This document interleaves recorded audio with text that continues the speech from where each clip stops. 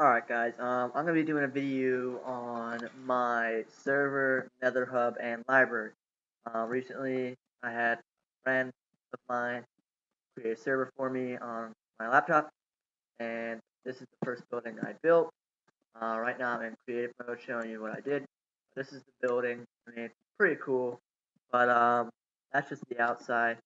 Uh, but then uh, when you go down here and it says server, nether hub, and library. Uh, this part right here is the library. Uh, you have some enchantment tables here, regular tables, and books. And these chests that you see uh, around the library, I'm going to be placing uh, book and quill in there so you can actually read about the server. And uh, just give you a little tour. Uh, these are the library.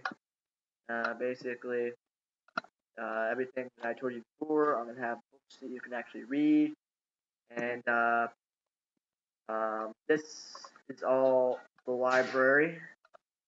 And once you get on the hall here, like all this, this little narrow hallway right here, uh, you'll go back into the Nether Hub, or uh, I guess it's not really the nether hub, but a room where you can go into the nether. But uh, this is one of the rooms I made you can go to the nether. And I got some ender chest here. And ender chest here.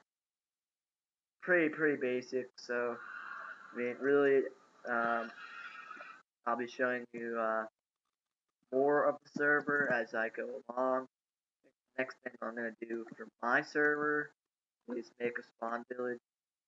But uh, let me know how uh, you thought I did, and uh, leave some comments in the comment section, and uh, give me some feedback on what you thought.